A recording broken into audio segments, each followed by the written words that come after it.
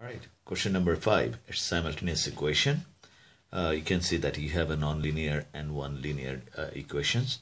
So what we can do, uh, we cannot use the elimination method. We have to do the substitution method. So if I take y equal to 4 minus x, I'm, I'm using this linear equation over here. Okay, so I make the y subject so in this equations, I'm going to replace the value of y by 4 minus x. So 2 x square plus 3 y is going to be 4 minus x y square. So whole square equal to 7 x y is going to be 4 minus x. Okay. If I had x in only one place then I would have made x is the subject or uh, if I have had y in one space one of the terms then I would have uh, make uh, y is the subject okay? But in this case you can see that x in two different places and y is two different places. So it doesn't matter which one I do first okay? So uh, if I take the bracket off on this one if we want to put the formula here so it's actually a minus b whole square formula. So a square plus this is minus minus 2ab plus b square. Okay if it's plus it's gonna be plus c. I hope you know that. So 4 square is 16 minus 2 4 is uh, 8x plus x square. And if you take the bracket off on this side on the right hand side so it's gonna be 4 7 is uh, 28x minus 7x square. Right? So 2x square plus 3 16s are uh, 48 minus 24x plus 3x squared. Bring all this over here. I need to make uh, quadratic equations on one side and 0 on the other side. So I can use the quadratic formula or middle term break, whatever it comes handy. Okay. 2x squared plus 3x squared, that's 5x squared, plus 7 squared, that's going to be 12x squared. Now, minus 24, 8, uh, minus 24x minus 28x that's supposed to be 30 50 52 but let be sure let us be sure it's going to be 52 yeah. So negative 52x and 48 I have only one place. So that's going to be plus 48 equal to 0 uh, I I I, cannot take 3 common over here. So 12 uh, 4 would be fine for all of these three terms. If I take 4 common it's going to be 3x squared minus 13x plus 12 equal to 0 so if I take 4 to that side it's x 3x 3x squared minus 13x plus 12 equal to 0 divided by 4 that's nothing but 0 now this is kind of middle term break. So what I'm gonna do 3 times 12 so 3 times 12 that's gonna be 36 positive 36 so I have to have positive 36 okay. And I'm gonna take a, a pair of factors that when I add it it's supposed to be my, minus 13 so let's try this too so 6 6 it doesn't work. If I take by 4 that's gonna be 3 and that's 12 uh 3 3 is 9 okay. So so uh, 6 divided by 2 is 3 then this is 12 it doesn't work. If I take this one if I divide this one by 3 so it's going to be 4 3 3 is 9 okay if I add this it's gonna be negative 13 okay um, I need positive 36 so negative negative that's gonna make uh, positive 36 so 3x square minus 4x minus 9x plus 12 equal to 0 taking x common so it's going to be 3x uh, minus 4 if I take uh, 3 common over here so 3x minus 4 equal to 0 taking 3x minus 4 common 3x minus 4 and x minus 3 equal to 0 therefore x is going to be 3 and over here is going to be 4 by 3 so from here when x equal to 3 y equals to 4 minus 3 equal to 1 so in answer we got x y. One pair of them is 3 the solution is 3 and 1 and when x equal to 4 by 3 y equals to 4 minus 4 by 3 the 12 minus that's it's going to be 8 by 3 so another pair solution 4 by 3 8 by 3 that's our final answer. Okay that's 3 all right next one.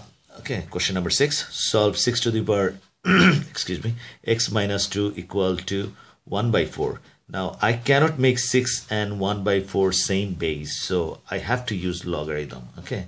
If I had e then I would have taken uh, natural logarithm ln on both sides but since I don't have it I'll take just uh, natural logarithm okay um, common logarithm that's base 10 so log 6 to the power x minus 2 equal to log uh, just make it simplify. You, you, can do it or leave it as it is doesn't matter. 1 by 4 actually 0 0.25 okay?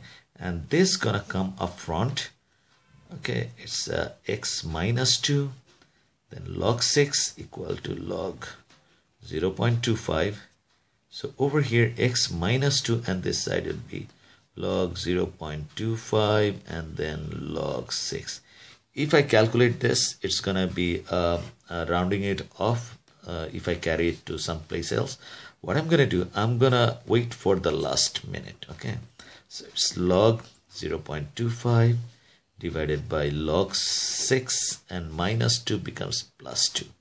Now I can use my calculator. Okay, it's uh, log 0.25 that's supposed to give you a negative value divided by less than 1 is negative value. Uh, log um, 6 I got negative 0. that and plus 2. The answer would be 1.23 um, to three uh, significant figures or correct to uh, nearest uh, to, uh, correct to two decimal places okay next one okay i have logarithm. Good thing is all of them has base a. So this is pretty straightforward. So log base a all the addition one i'll just multiply that. 2y squared then this one is times 8 and this one is times 16y minus 1 I'll just divide it. It's 64y and this 2 gonna go on the top on the uh, power of uh, 4 so log base 4 uh, base a 4 to the power 2 now log with the same base both side uh, and we have equal signs so the number must be equal. So therefore 2y squared times 8 times 16y over 64y equal to 4 square is 16 okay. Now I can cross this 16 and 16 1 but it doesn't make this one 0 it makes 1 so be careful with that. 6 8 8 are 64 so 2 4s are and then I can cross this y y out. Okay. So on the top I have y square and this one I'm gonna have 4 so if I take the square root on both sides it's gonna be plus minus 2 so I got two values of y. One is positive 2, uh, one is negative 2. But since this is log, I have to check if I can take negative 2 or not. See that over here I don't have any problem, 2y squared. So I can take negative uh, 2 over here. But problem is over here. If I take negative 2, then this is going to be log base a 16 times minus 2 is going to be negative 32 that's where it's going to make um, uh, uh, inadmissible. We are not going to be allowed to calculate this one or over here. So therefore y cannot be equal to minus 2 final answer is y equal to 2 only one answer okay that's gonna be sorry about that okay that's uh, y equal to I dropped something y equal to 2 okay let's do the next one Okay, question number seven. And this is an uh, binomial expansion with power n. So I have 1 plus 2x to the power n. And it says that the coefficient of x to the power 4 is 10 times the coefficient of x squared. So according to the question, what it's saying that whatever the coefficient of x to the power 4 that equals to coefficient of x to the power 2 times 10 okay so what I'm gonna do I'm gonna use the formula n n minus 1 n minus 2 n minus 3 to gives me 4 1 2 3 4 and then 4 factorial. So 1 to the power n minus 4 that's 1 uh, I'll just write it down I think over here. Okay uh, n minus 4 and 2 I don't need to write down x because it's coefficient of that so it's 4 directly over here. And this one 10 times x to the power 2 so n n minus 1 and below here 2 factorial and again 1 n minus 2 and 2 to the power 2 directly 2 okay I'll keep that one as it is. I don't need 1 so n n minus 1 this n n minus 1 gonna be cross out from this side.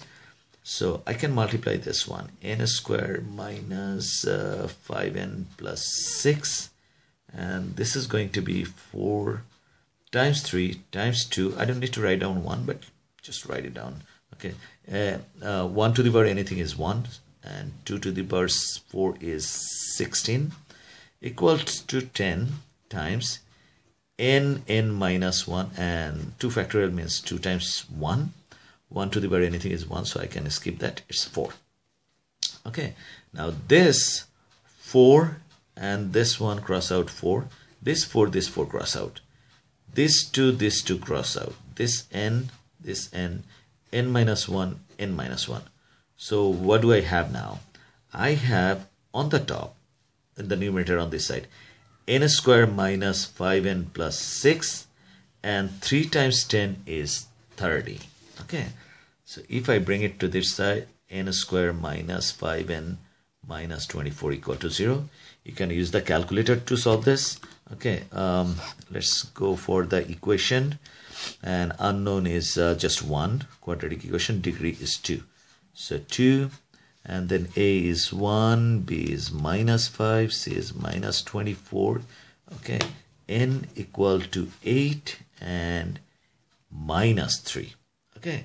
Using the calculator this is definitely using the calculator. Okay. If you like to uh, use the middle term break or some other things then it's gonna be 24 uh, times 1 that's minus is minus 24 8 times 3 so that's the yeah this one this pair. Okay it's minus 24 this pair. This is just to show you. I don't want to do this all the way. Minus 8n plus 3n minus 24 okay now you can go from here. Now n cannot be negative 3 because in our Cambridge CIE exams uh, n we usually take positive integers value so not fraction not negative. So n over here is going to be 8 that's our answer. Okay all right 7 is done. Let's do number 8 all right question number 8 it says the graph of this that's the nonlinear equations curves the x-axis at a x-axis no sorry y-axis at a uh, this one y-axis at a. The graph y equal to the same graph and this linear graph cut one another at the point a and b the line bc bc is perpendicular to the x-axis. Okay pretty good. X-axis. Calculate the area of the shaded region this one enclosed by the curve and the line ab showing on your working. Okay fine. We need to find out the coordinates of AB okay so this two line this is linear line this is uh, uh, this is linear line this is the curve parabola. Okay they are intersecting at two points. So let's do this. Y equal to x plus 10 and y equals to x squared minus 6x plus 10 so what I'm gonna do y y equals the x squared minus 6x plus 10 equal to x plus 10 plus 10 plus 10 cross out. If I bring this one over here x square minus 7x equal to 0 now take x common. So x minus 7 I got two values x equal to 0 and 7 now on y-axis x equal to 0 okay? On y-axis x equals to 0 so it doesn't matter which equation I use this one or this one okay? Y is going to be if I put x equal to 0 y equal to 10 y equal to 10 so coordinates of a is 0 10 I'll just write down over here 0 10 okay? Coordinates of a now coordinates of b. Over here uh, b's x coordinates is 7 okay. And doesn't matter here. Uh, it's easier to use the value of 7 over here so I, I won't have to do this so many work. Okay. Uh, now y equals to 7 plus 10 equal to 17 so coordinates of b is going to be 7 17 so that's 7 17 since this is perpendicular the x coordinates of c is going to be 7 and on x-axis y equal to 0 so that's the coordinates of c. All right we got everything here. Okay now what do we need to do? We need to find out area over here. You can see that this is since this is a 90 degree perpendicular over here this is also 90 degree. And uh, this AOCB that's make a trapezium and we have this areas over here. So if I uh, to get this shaded region area of the shaded region if I subtract this white area inside the uh, trapezium from the area of the trapezium then I'm gonna get that. That's what I'm gonna do okay? So required shaded region area of required shaded region. Okay what I'm gonna do area of the trapezium minus okay that I have to do integration okay. And integration what? This curve line okay that's x square minus 6x plus 10 dx but this range of x should be 0 to 7 so 0 to 7 now this area of the trapezium would be uh, half.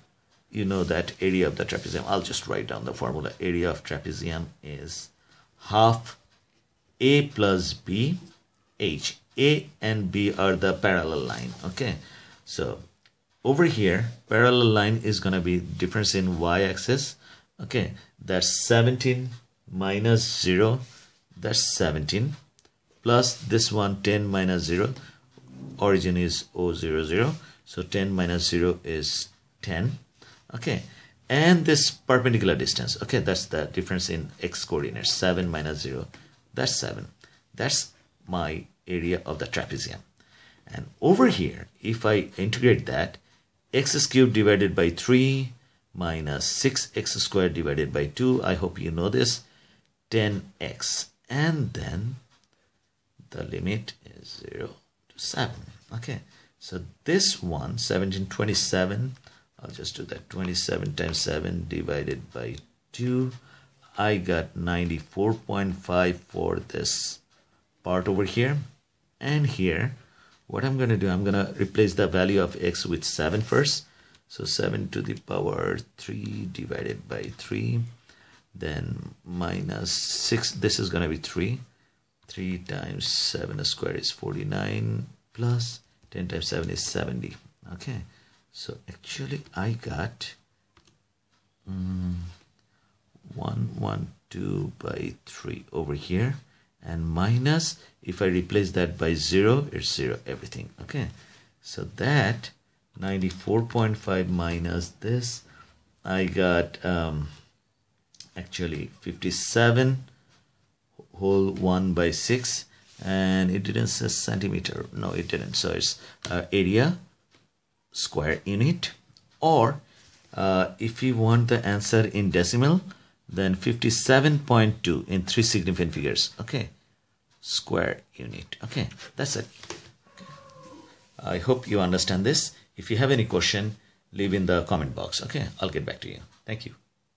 Oh i'm not uh, i'm sorry. I haven't finished it. I'm gonna go to number nine